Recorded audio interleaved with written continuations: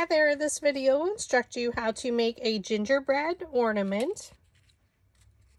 You're going to cut everything according to the instruction document provided with the purchase of this template. So we have the shape of a gingerbread man. And then we have two centers. And then we have three different petal sizes. So for the largest petals, there's two of them, and we're going to use the one quarter inch dowel rod. So if you have one of my newer dowel rod sets, I do color code them. So place that dowel rod down in the middle of the petal. Thumb on top, index finger underneath, pinch it up from the right side and roll it along your index finger. Okay, right down in the middle of the petal, thumb on top, index finger underneath, Pinch it up with your other hand with your thumb and then just roll it along your finger. Thumb, index finger holds the dowel rod in place. Place your thumb and index finger around it, pinch it up, and once you have it pinched up, I let go and roll it along.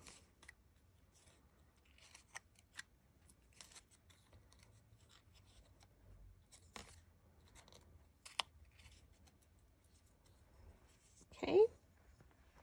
For our next two petals, so layer three and four, we're going to use the 3 16 inch dowel rod, which is our blue shade. Place it down in the middle of the petal, thumb on top, index finger underneath, pinch it up and roll. Pinch and roll.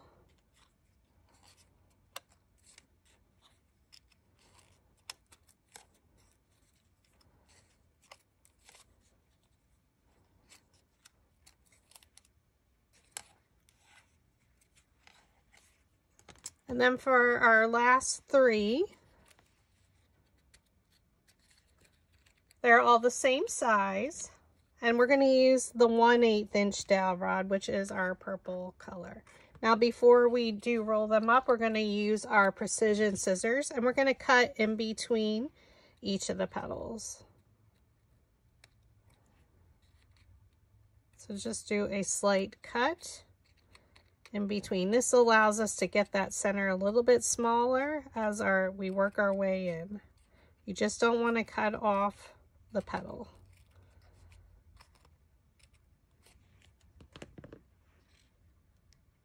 So I'm using craft paper, and this is by Recollections from Michaels. This one is 65 pound. If you wanted to, you could glue two bodies together for more stability. Um, or you can use a 100 pound or 110 pound. I didn't check to see if they offer the craft paper in that size. So we're going to keep the three stacked. We're going to place that dowel rod down in the middle of the petal. Thumb on top, index finger underneath. You're going to pinch it up and roll it. Pinch up and roll.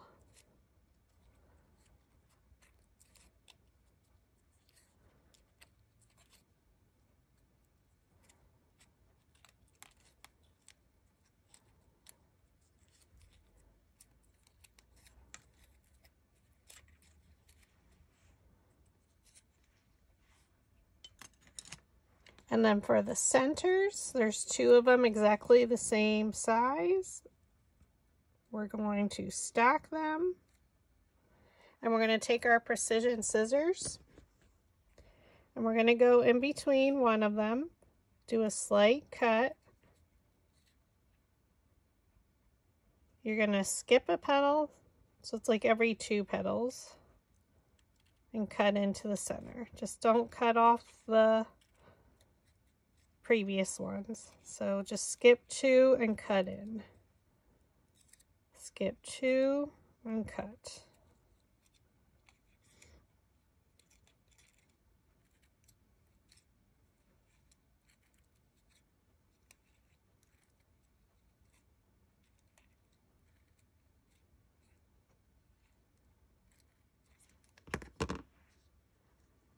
So you can see all those small slivers. Now you're going to take, you're going to separate them And we're going to take an embossing stylus. So these are smaller ones. This one is from Dollar Tree. Um, anything that has the smaller tip on it. There's lots of different um, ones out there, but this one works great. So this is the larger of the two ends. And just at the very side where the seeds are, which I call, you just do a circular motion and it's going to make it look like a spoon shape basically. So it will no longer be flat. So you can see these are flat and then here it turned it into a spoon shape. And we're going to go around and do this to both of these.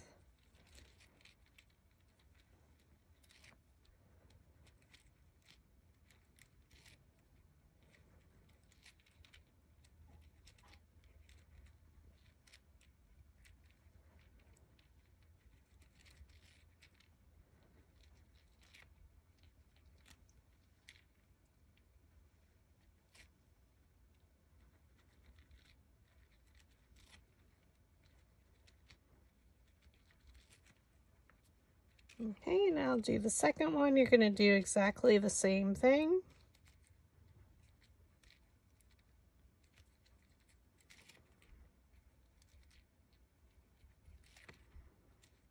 By doing this little extra step, I promise you it does make the difference with your centers.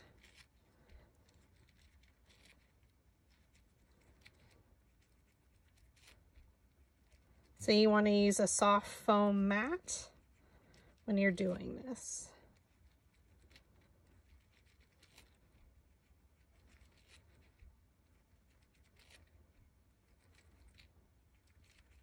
All right, so now we're going to take the our metal ball stylus tool. So we're going to use the second to smallest and we're just going to pull each of those centers up towards the center. So just pull it towards you.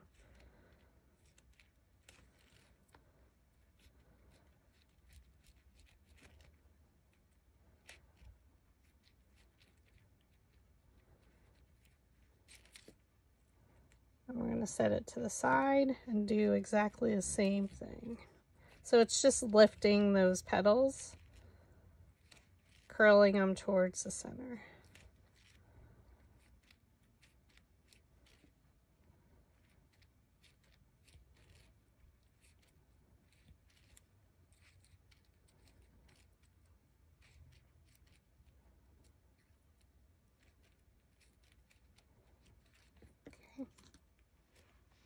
We're going to assemble our flower.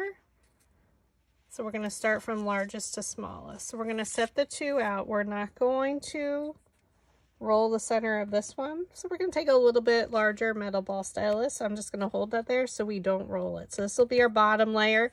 We don't want to roll the center because we wanted to glue it flat to our gingerbread body. Just roll it in the center to lift those petals up. Add some hot glue.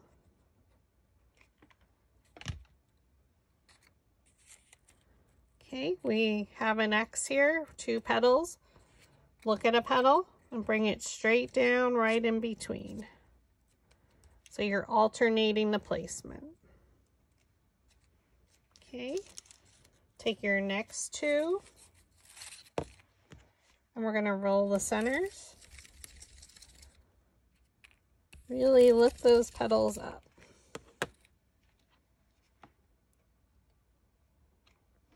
Add your hot glue. Keep rotating your flower around. Look at a petal, look at these two petals, and place it in between.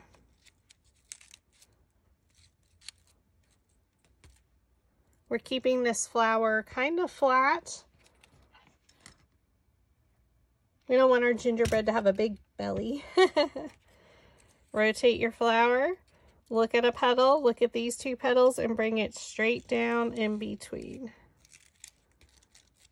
Now you can use your metal ball stylus and stir it. Just make sure it doesn't shift.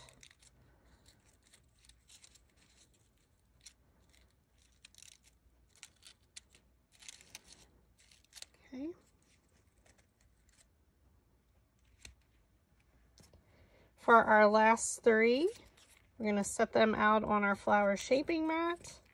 You're going to roll it with the smallest metal ball stylus because we cut into these in between each petal. Our center is going to get much smaller. So roll it directly right in the center. Okay, then we're going to take our centers we already styled. You're going to roll it in the center and really close it in on, e on itself. And roll it again. Now I'm really to squish, squeeze it together, smash it, however you want to describe it. Okay. We're to add some glue and glue it into our other center. So we're working from the center out. Open it up and put it right in the center. Oh, that's what it looks like. Fold it up and around. Press it down. Squeeze the bottom together.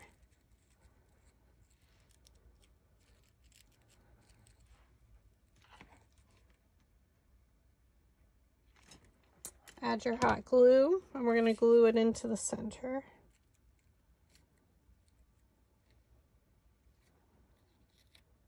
Give it a moment to dry. Fold the petals one in front of the other.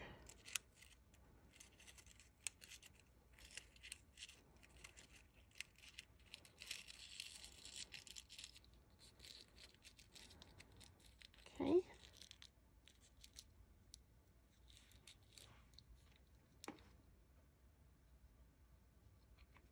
Add some hot glue. We're going to look at the one side petal and we're going to glue it in between those petals. So I looked at these two and this petal. Give it a moment to adhere. Okay.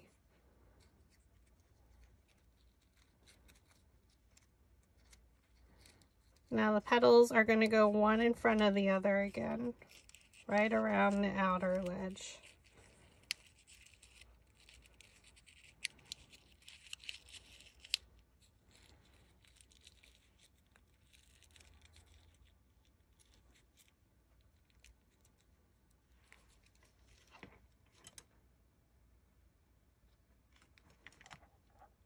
Add your hot glue. We're going to look at a petal and place it in between. So when I'm working at it from the center out, I always look at my side petals because it's easier for me to see. So these two I looked at, and I looked at that one. Okay, and again, we're going to fold them up. You can open them up slightly placing them around that center and in front of the previous layers petal in front of the petals of this layer sorry. Hope that makes sense.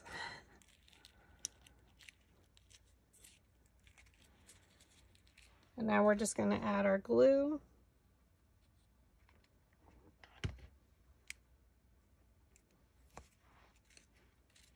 We'll look at a petal and place it in between. So come straight down and let that center open.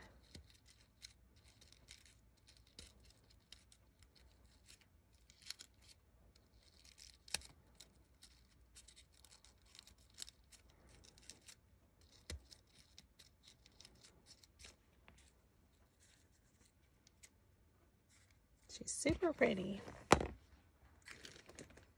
And we're going to bring back our gingerbread man. Now you can punch a hole in it now, or you can make these into magnets as well. Um, but I'm just not, I'm not going to punch my holes in it right now. So now we're going to attach it to our body. So I'm going to look at these two and kind of put him right there at his neck.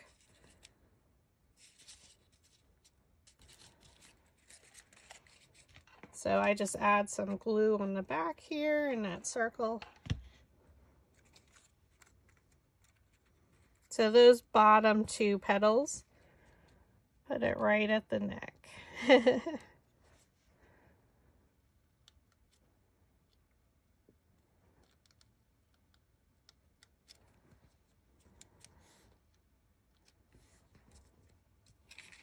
Oh my goodness, so cute. Wasn't he cute? Now we get to decorate it with your puff or um, dimensional paint. Or you can draw it with markers, whatever you want. So I am using the Tulip puffy paint. Um, I do have a set I purchased on Amazon as well that has a lot of different colors. So whichever one you want to use.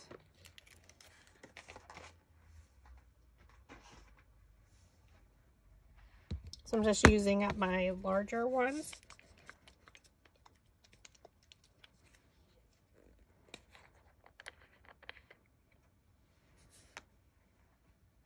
And you can decorate it again however you want.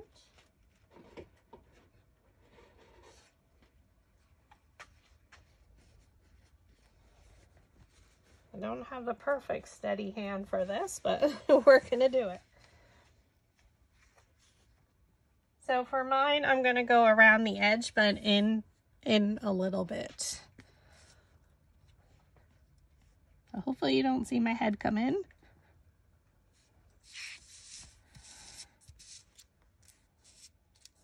I'm going to lift up the flower a little bit. And you don't want to drag it along. Just kind of letting it fall into place. I've been watching this technique on the cookie um, the cookie challenge shows on the Food Network. I am lifting up the petals and I don't do this beforehand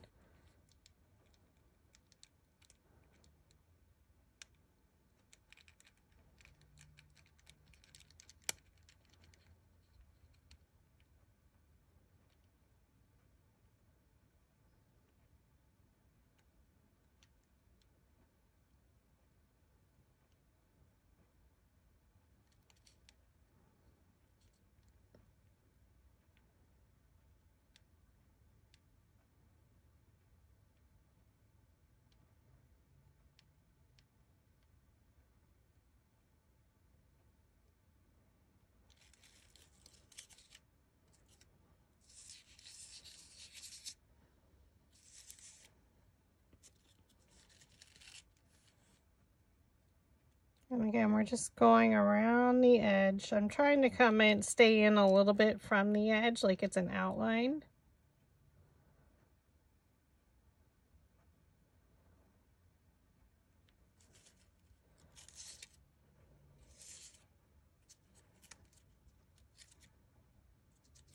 Now you don't necessarily have to lift your petals.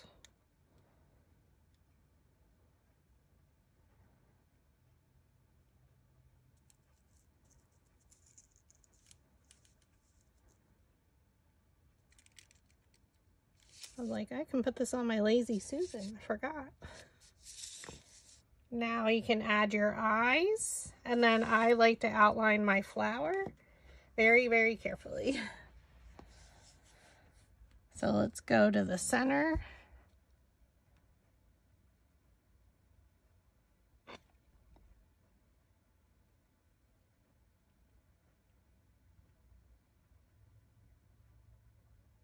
Keep it super simple. So it's um, like you're just using icing to decorate your gingerbread. So you could have a lot of fun with your kids with this. And now I'm going to go around the petals. And, and this wouldn't be necessary. It's totally up to you.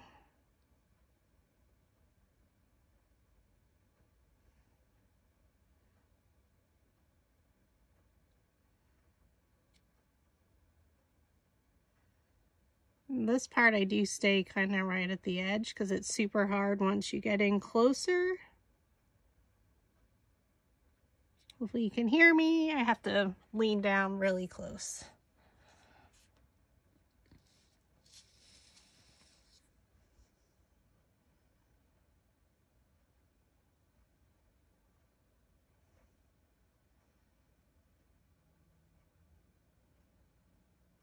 Now I didn't make this super small, like my gingerbread is six inches high, just because gingerbread people are generally larger. And I didn't want my flower too small.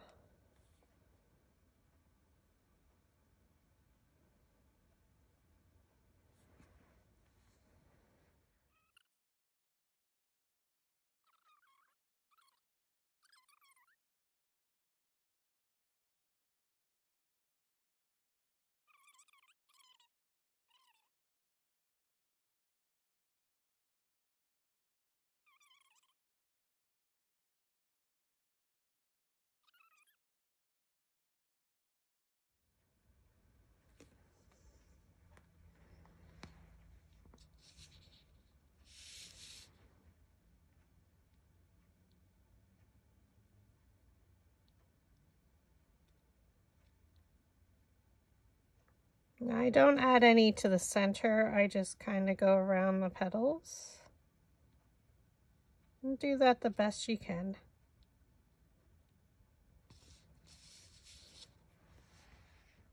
Kind of highlights the shape of the petals.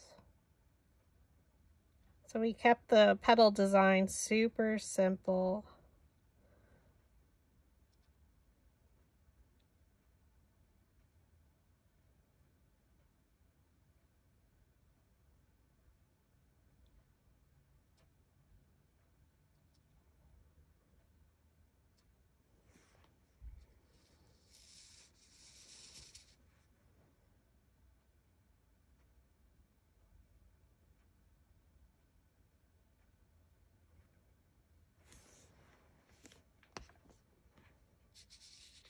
Yeah, definitely the lazy Susan I'll have to use. Just watch, it will smear.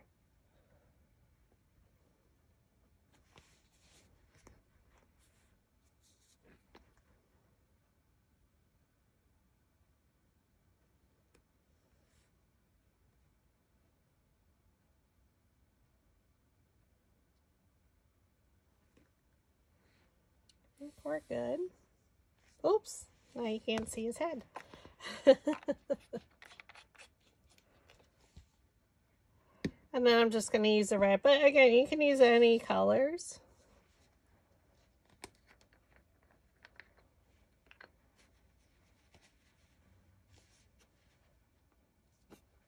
And make it, you can make it into a girl, add a bow, however you want.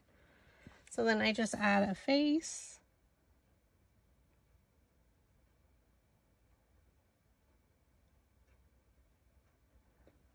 And then we add some zigzags.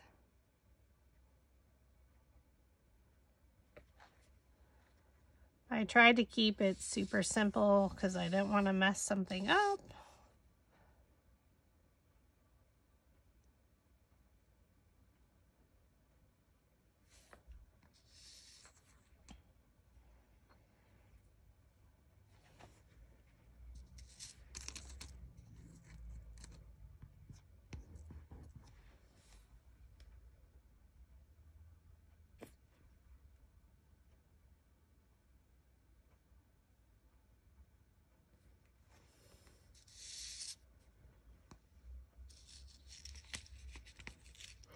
Oh no.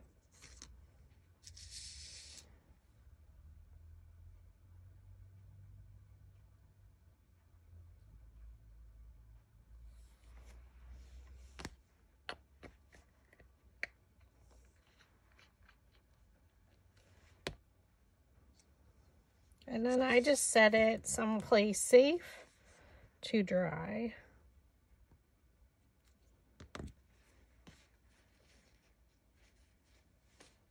Don't be like me where you kept hitting it. oh my goodness. It's always when I film. This is the previous one I made and he's still drying as well.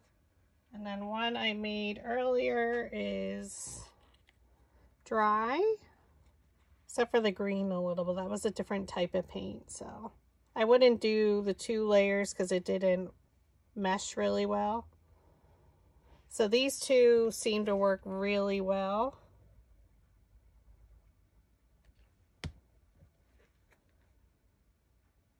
I'm almost out of this one. But again, have some fun with it. I can't wait to see your decorations. Thank you for watching.